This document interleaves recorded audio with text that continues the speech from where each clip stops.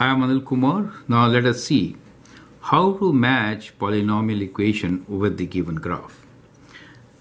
We are given four different equations and the graph of a polynomial function.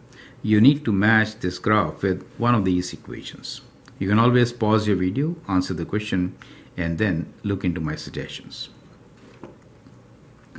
To match, let us analyze the graph itself, right? So that is the graph. Let's analyze.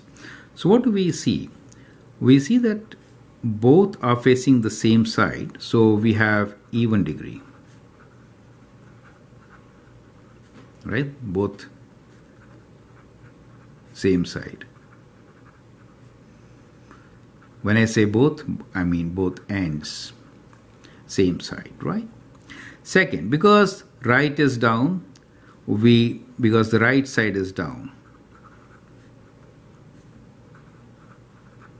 it means the leading coefficient is negative. It means leading coefficient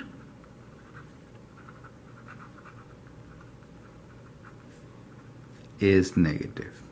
Correct? So these are two critical things to understand which can help us find the answer, right? Now what else do you get from here? You actually can see all the zeros, right? So there are three zeros. So let's write down these zeros now, which will give us the factors, correct? So we have 0 at x equals 2. So this is minus 1. So at minus 1, and since it goes straight, it is order 1.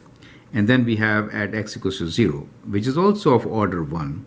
However, at x equals to 2, it turns. So it is order 2. Order 2 correct? So that gives you the equation. So our function f of x could be equal to negative, right? These are the zeros. That means x plus 1 times x times add 2. The order is 2. So that becomes square.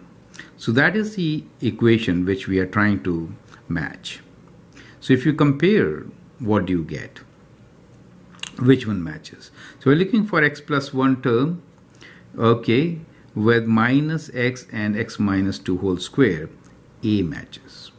So I've shown you a method, but when you look at the equations, you know this could be the right answer since negative means going down, right? Now, matching the roots, linear, linear, and quadratic root, even degree root. So A matches. So I hope that helps you to understand how to match a particular graph with the given equation. Feel free to write your comments and share your views. And if you like and subscribe to my videos, that will be great. Thanks for watching and all the best.